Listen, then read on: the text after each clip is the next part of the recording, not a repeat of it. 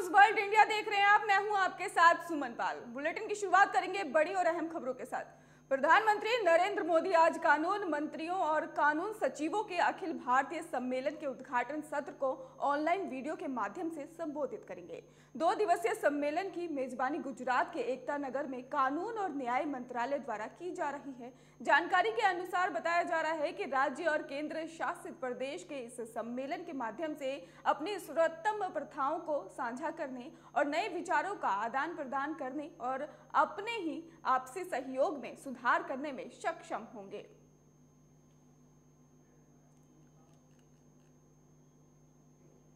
हिमाचल प्रदेश में हाटी समुदाय शनिवार को ही सिरमौर ज़िले के सतोन में धन्यवाद रैली आयोजित करेगा।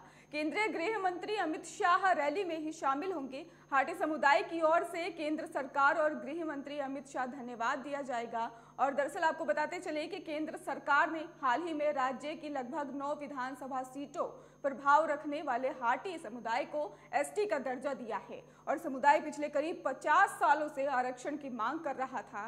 केंद्र सरकार की ओर से आरक्षण दिए जाने की घोषणा किए जाने के बाद हाटी समुदाय में काफ़ी उत्साह देखा जा रहा है। बीजेपी को राज्य में इस घोषणा से चुनावी फ़ायदा मिल सकता है। वहीं कांग्रेस नेता प्रियंका गांधी ने अपनी चुनावी रैली में पेशेंस के मुद्दे को लेकर हवा दी है और बीजेपी की हाटी समुदाय को आरक्षण दिए जाने संबंधी घोषणा मास्टर स्ट्रोक के तौर पर देखी जा रही है।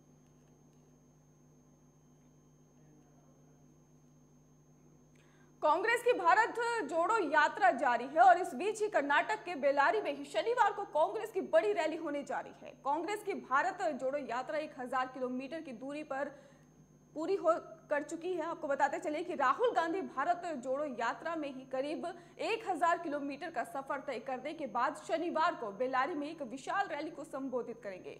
कांग्रेस की भारत जोड़ो यात्रा 7 सितंबर शुरू हुई थी और अब शनिवार को यात्रा का अठतीसवा दिन बताया जा रहा है और भारत जोड़ो यात्रा में ही राहुल गांधी सहित पार्टी के अन्य नेताओं को कुल तीन किलोमीटर की दूरी तय कर दी है।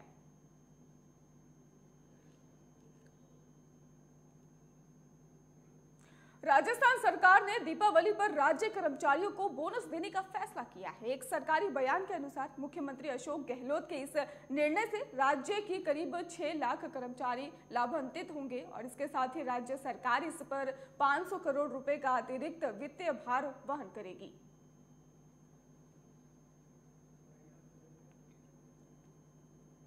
फ़िलहाल इस बुलेटिन में इतना ही। देश और दुनिया की तमाम खबरों के लिए देखते रहिए news world India. Thank you.